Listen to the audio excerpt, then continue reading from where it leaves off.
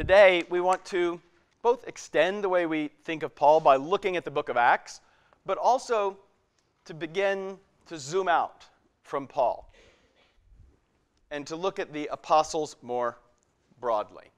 Acts is a unique book in the New Testament. And I want you to think of it in terms of four themes. Four themes that will help you understand the meaning of this rich text. One, its geographic frame. In Acts, geography is theology. The places, the where, reveals the substance, the what. It's about the geography, it's deeply symbolic. Two, Acts is a history of the church, of the apostolic church. It's the only history in the New Testament. Third, Acts is the second volume of Luke. Luke Acts. They go together, written by the same person, sharing the same themes, unified in their composition, so that things that happen in Luke reverberate in Acts, and things that happen in Acts fulfill and enrich the things that happen in Luke. Just as Luke is the gospel of what? What is Luke's emphasis?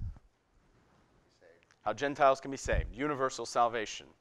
So, Acts is the story of universal salvation. Fourth and finally, we want to think about Paul's citizenship, Paul's status as a Roman citizen, which is fascinating historically, which is particularly important in a class that is meant to study the origins of Christianity from the perspective of Roman history, which is truly essential to Luke's message in the book of Acts. Paul's Roman citizenship isn't a, a detail, it, it has some truly revealing meaning.